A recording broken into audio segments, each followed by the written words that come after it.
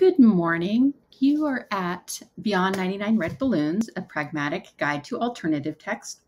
There's two links up there on the slide decks. One's to this presentation, you can follow along with the links, and one to a slide deck with terms and definitions.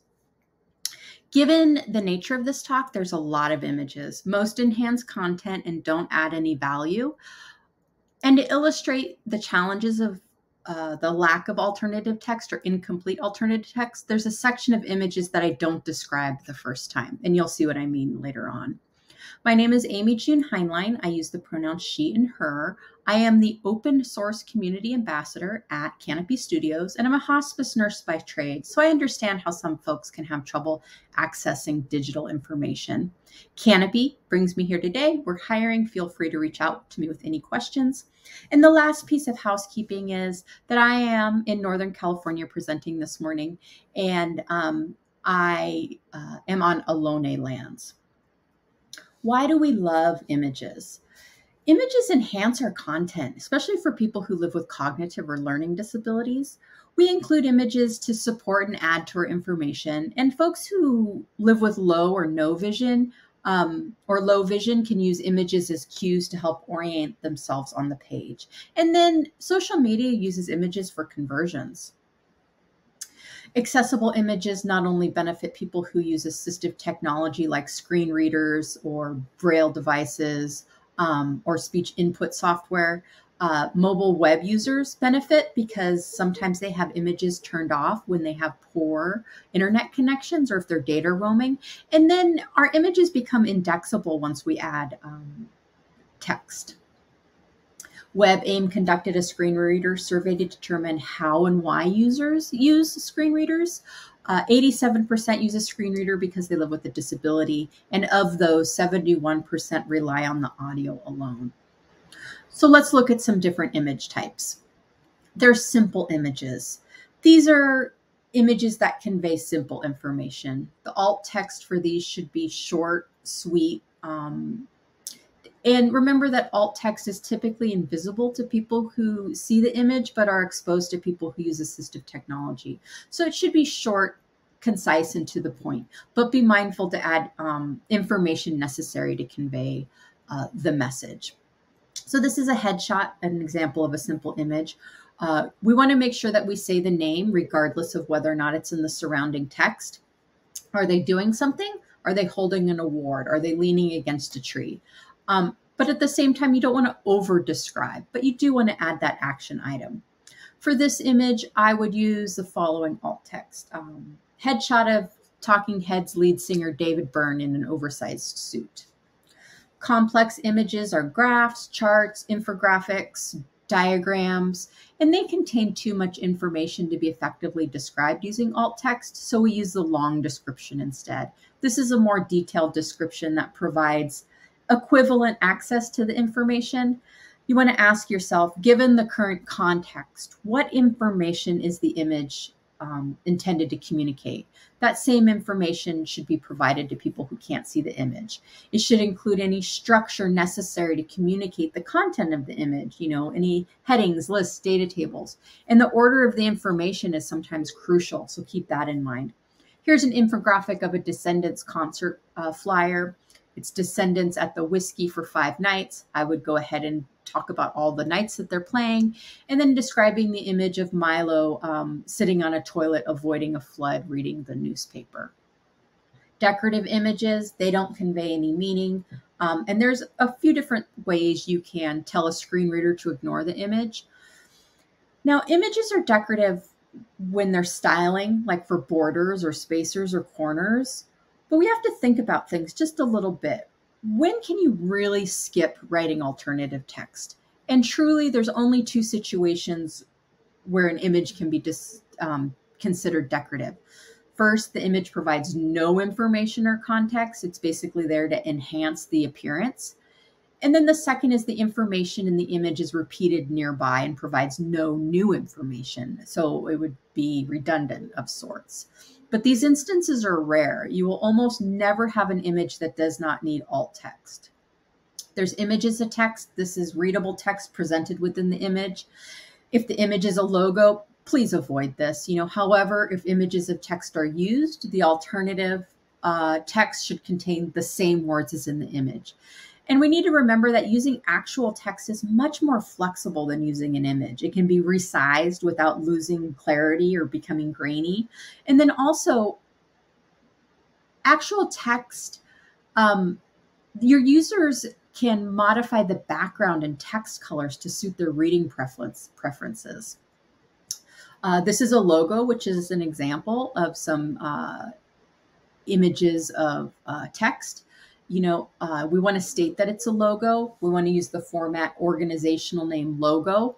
And like any other types of image, your alt text should include all the words in the logo as screen readers can't access that text. Um, if your logo is a link, follow the best practices of for linked images too, and that's to include where the link is going. So for this one is MTV logo, music television, link to MTV website. Groups of groups of images convey a single piece of information, and the text alternative for one image should contain the information for the whole group.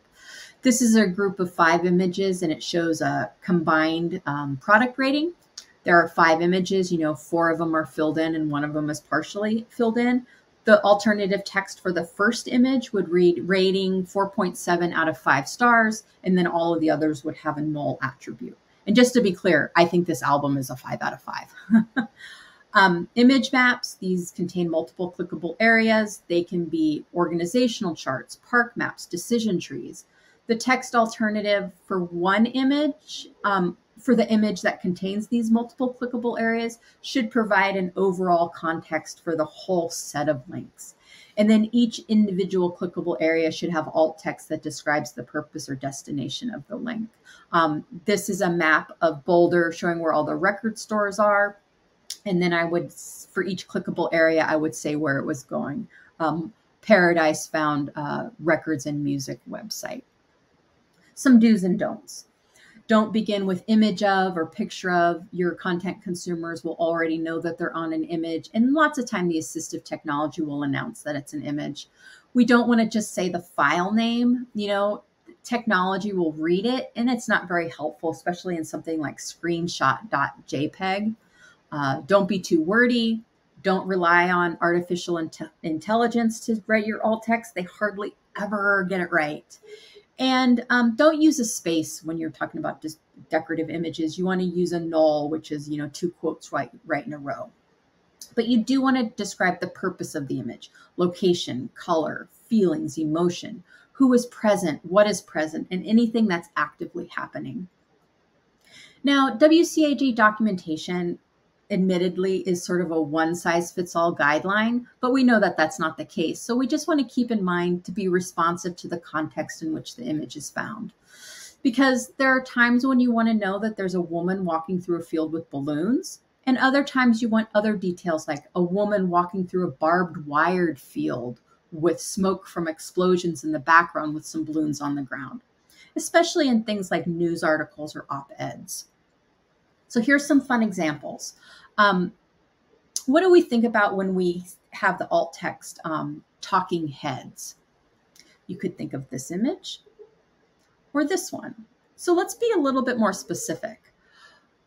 Two newscasters sitting on a sitting at a desk with channel 4 news screen behind them or the band members of Talking Heads wearing colorful yet mismatching patterned outfits.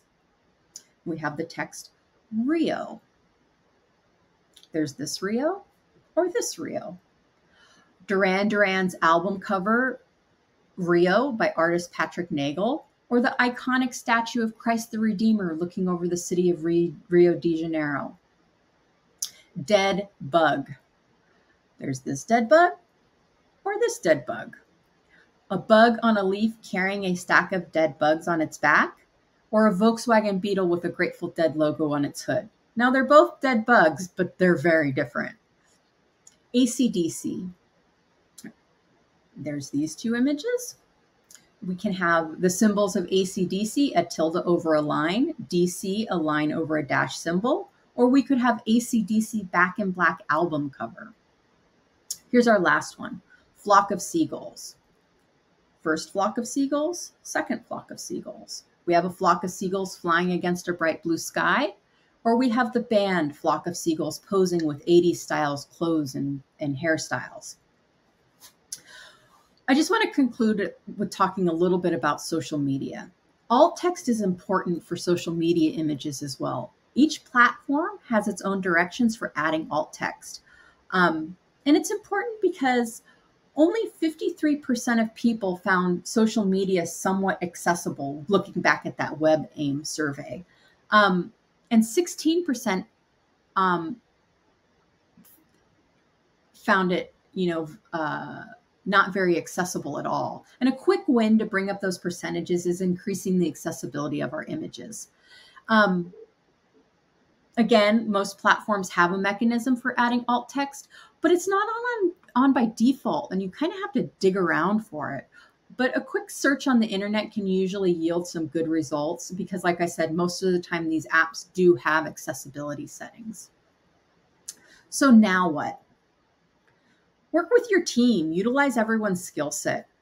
You know, set up style guides and style sheets. Um, ensure that your WYSIWYGs and your editors have tooltips and communicators are trained on how to use them. And perhaps have alternative text as a required field. And remember that accessibility is a moving target. So I want to thank you. You can find me at Volkswagen Chick across all of the medias.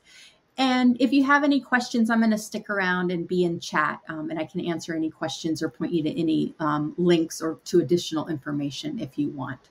So I want to thank you very much, and I appreciate your time, and I hope everyone um, got a little bit of something out of this, and we see more alt text across our our media.